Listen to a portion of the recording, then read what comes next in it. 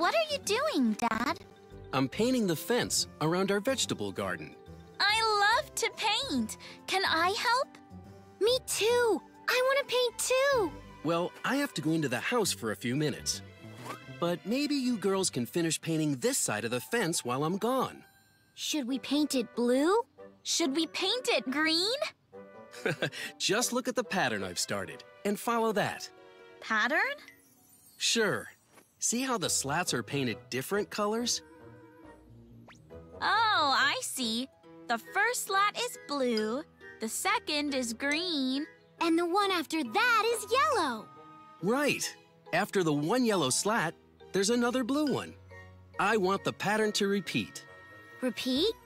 You know, start over again. Let's see if you can figure out the rest of the pattern before I get back. Okay. Yeah. Hmm. Let's see.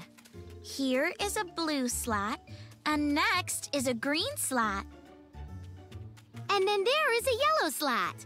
Yes, that must be the pattern Dad is painting.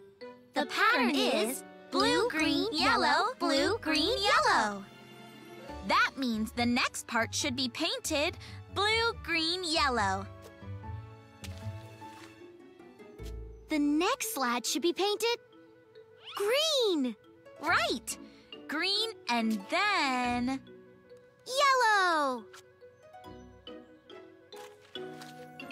And then start over with blue.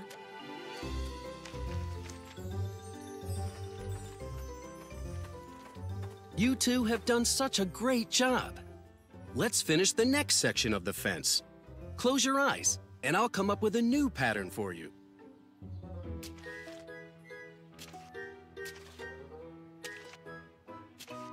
Okay, girls.